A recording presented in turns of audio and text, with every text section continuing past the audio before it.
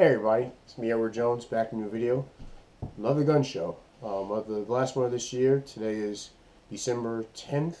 Yep, December 10th, 2017. And uh, first off, if I sound a little hoarse, I had a bug um, earlier in the week, so I'm just, I'm just getting over that. I'm just coughing up a bunch of yellow crap, and you know, it's, pretty disgusting. but um, another reason why you may not have seen me is uh, well, for two reasons. First one Doom 3 BFG Edition. Um, this this is actually pretty. This I played. Um, the first Doom game I ever played was the newest one that came out in. Um, it came out last year in May. I played that right after. I played that shortly after my birthday, and I was you know I, I've gotten really into the series. I saw the movie uh, many years ago. I, I, I like the movie. I thought it was pretty cool. Um, and I figured I'd go ahead and pick this up for PlayStation 3. I don't have a PS4 yet, but I, I still got my PS3 and I got this one. It comes with the poster. You know, the Doom Marine fighting off the fighting off the demons on the uh, on Mars surface. And this is the BFG edition. It comes with the first two original Dooms. And I, I beat Doom 3, and I just recently beat the first Doom. And I gotta say, probably the worst level on that on that entire game was um, Path to Limbo. But my favorite level is um, see is uh, the spawning vats, and that's because my favorite song Waltz Waltz of the Demons is, uh, is on that level. Last week I you know mentioned this game, and when I just purchased last week, Grand Theft Auto San Andreas. I first got this when I was in tenth grade uh, for Christmas.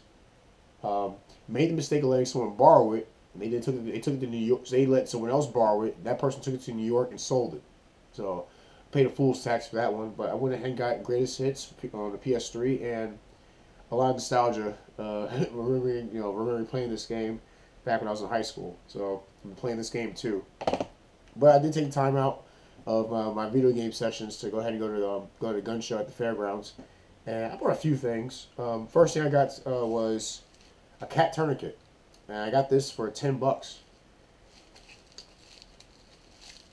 And it, the way it works is, you put it. Uh, if you, you have a you have a cut somewhere and you want to, you want to get the bleeding to stop, you put the tourniquet on, you know, adjust it, adjust it for the size, and you use this and you turn it to uh, put pressure where you want the blood to stop, and you keep it on for I think like 10 or 15 minutes, and then you release it, and then you, you know, to let the to uh, keep it from keep the keep the blood flow continuous, but not you know not to where it will keep spilling out.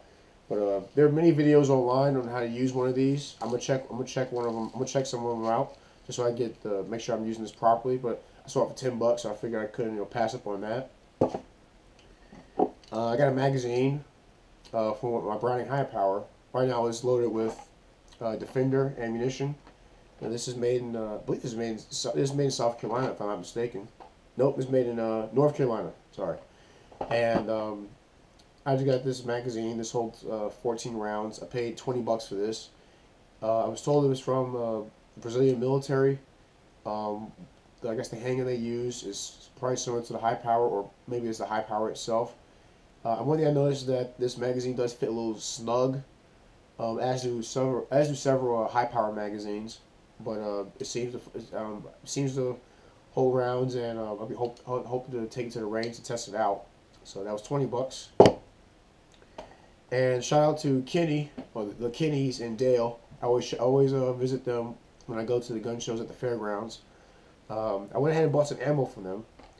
Let's see, got some some, some old stock stuff. This uh, Remington Golden Saber uh, HPJ high performance jacket, and it's 357 Magnum.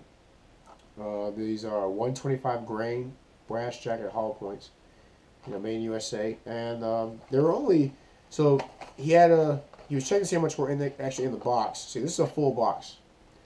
Uh, he had one empty box. He had one box that had six rounds missing from it. And this was it. It was the Remington Core-Lokt. It's a 357 Magnum, uh, 165 grain Core-Lokt. I think it's a particular uh, type of uh, hollow point that this uh, that this brand uh, Remington uses for this type of ammunition. Um, 357 Magnum. And so this round, yeah, this was missing six rounds. So he was going to let me uh, have this one for 15. So I gave him a 20.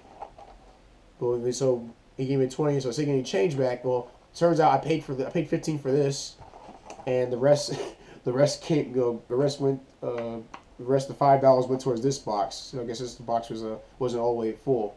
So I got some uh, defensive ammo for my 3 357 Magnum.